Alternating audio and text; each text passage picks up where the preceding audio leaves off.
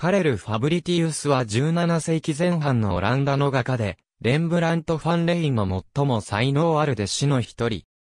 五色比は、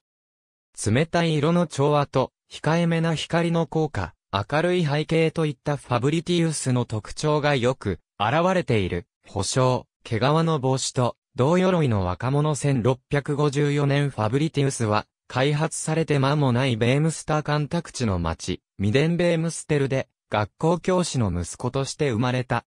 彼は最初は大工として働いたが、1640年代前半に兄のバーレンとファブリティウスと共にアムステルダムのレンブラントの工房で絵を学んだ。1650年代初頭にデルフトへ移り、1652年にデルフトの画家ギルドに加入した。その2年後の1654年10月12日、弾薬庫の40トン以上の火薬が爆発し、デルフト市街の4分の1が破壊され、数千人が負傷し死者100人以上が出る大惨事が起こった。ファブリティウスの工房も爆発に巻き込まれた。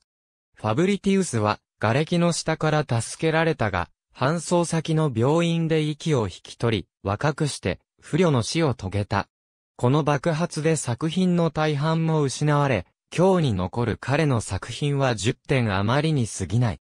レンブラントの弟子たちの中で、レンブラントから離れた独自の様式を築くことができたのは、ファブリティウスだけであった。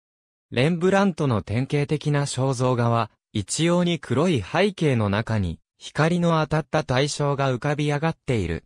これに対し、ファブリティウスの肖像画は、明るい色で、目の粗い背景に、控えめに光の当たった対象が浮かび上がっている。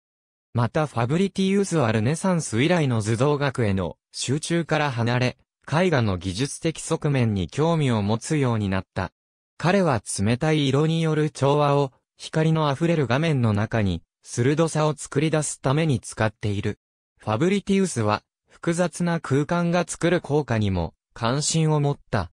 楽器賞のいるデルフトの眺望の誇張された遠近法に、これを見ることができる。